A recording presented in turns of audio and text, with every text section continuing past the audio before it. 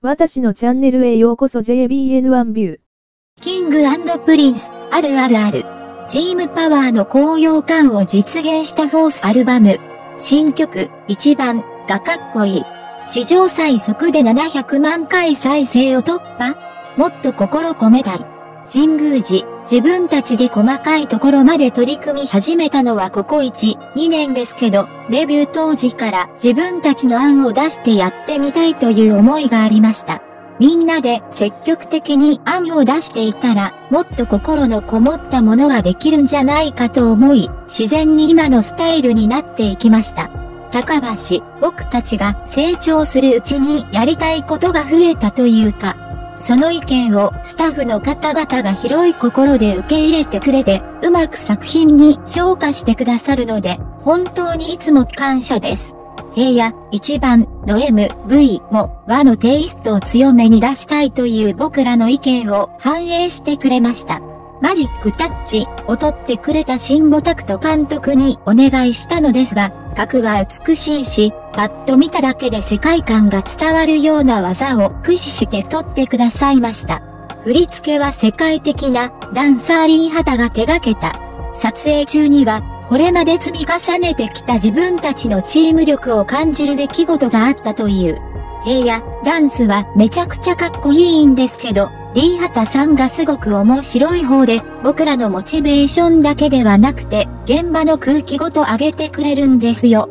他のスタッフさんもカメラの奥で一緒に踊ってくれて、それがめちゃくちゃ楽しかったです。高橋、ナンバーワン打感を出すために、撮影中もずっと盛り上げてくれていたもんね。平野、余裕だよ。余裕。王者の風格。とかずっと愛の手の声をかけてくれて、ショー。ああ、これも僕らのチーム力だなと感じました。メイドインというタイトルはもちろんアルバムの方向性などもメンバー全員で話し合いを重ねて決めている。自身のルーツや原点を大切にしながら今目の前にいる人を幸せにするためにできることが今回のコンセプトだ。平野、メイドインの後には色々な言葉が入ると思う。僕なら日本で生まれてジャニーズに入って今こうしてアルバムを出せているので、ジャパンとかジャニーズとか、そういう原点を意識しながら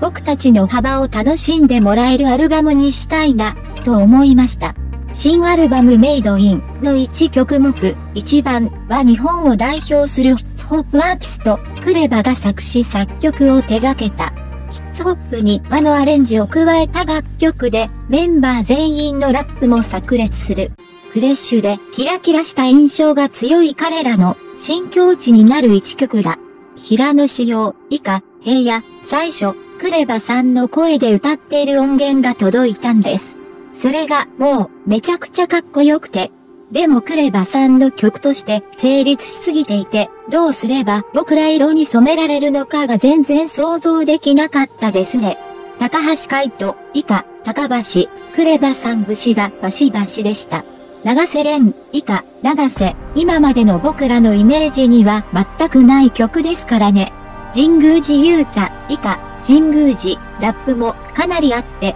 それが難しさであり、楽しみでもありました。僕らがどう表現できるのか。岸優太、以下、岸、チャレンジではありましたが、レコーディングの際に、クレバさんが全員のディレクションをしに来てくれて、直接アドバイスをくださったんです。そういう体験ができたのは大きかったですね。ラップの行くようがすごく変わりました。平野、ヒップホップ的な勢いをつけるために、例えば、予想という言葉なら、予想みたいにイメージを変換して、フォワットスアップみたいなイントネーションで言うとか、そういう細かいアドバイスをたくさんくださって、本当に参考になりました。いいテイクが取れたら、あるあるある。って言ってくださるんですよ。小、高橋、あるあるある。わくればさんが褒める時の口癖なんだと思います。褒め上手なんです。ラップは難しかったけど、すごく楽しく取り組むことができました。キンプリの新曲、1番がダサかっこいい。史上最速で700万回再生を突破。音楽の知識が深いことで知られるお笑いコンビ大の字も、自身の YouTube チャンネル、大の字中学校で、一番を、すっげー良い曲、と絶賛。MV を鑑賞した二人は、90年代後半から2000年代のドラゴンアッシュへの MV みたい、トラック自体はシンプル、オーセンティック、と印象を語り、ちょっとダサさもあるよね。それが超かっこいいよね。すっごい新鮮に聞こえる。俺やばい。鳥肌立っちゃったわ。などと興奮気味に語っている。さらにメロディーの中にラップパートが含まれる嵐の楽曲の構成と比較し、一番は違うの。ずっとラップなの。サビもラップだから、とラップ主体の楽曲であることを強調。その上で、これをキングプリンスがやってることで、かっこよさが倍増してる。プロデューサーさん天才。何この相性の良さ。キングプリンスがやると超良いね。と高く評価した。そんな古くて新しい一番、だが耳の肥えた音楽ファンから評価されているのも、近年のキングプリンスへの努力があってこそと言えるだろう。数年前のキングプリンスをメンバーによって歌唱とダンスの能力に大きなばらつきがあり、デビュー間もない頃に至っては、ネット上で秀でているのは顔だけ、などと揶揄されることも少なくなかった。だが、最近のキングプリンスを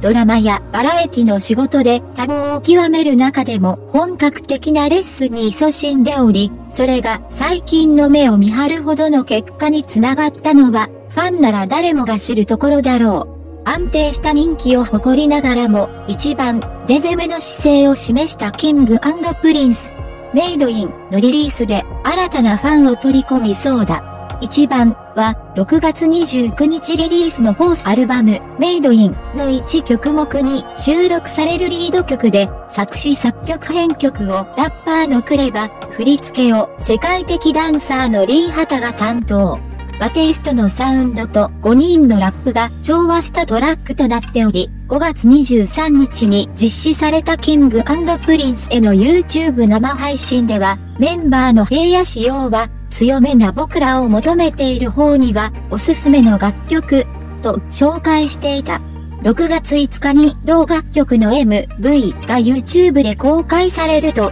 瞬く間に急上昇動画のトップに。公開から約10日で700万回再生を突破。17日午後3時時点で約760万回再生したが、この再生ペースはキングプリンスへの MV 史上最速。なお、700万回再生までの期間は、昨年10月リリースのシングル曲、恋降る月夜に、君送付が約19日、今年4月13日リリースの Loving You が約24日だった。そんな一番の MV のコメント欄を見ると、ジャニーズファンのみならず、クレバが楽曲提供したから聞いてみたというヒップホップファンとおぼしきユーザーによる書き込みがかなり目立つ。その内容には、ジャニーズはあまり聞いたことなかったですが、びっくりしました。ダンススキルの高さ、歌もラップもかっこいい。アイドル、ジャニーズ。なんとなく敬遠してたけど、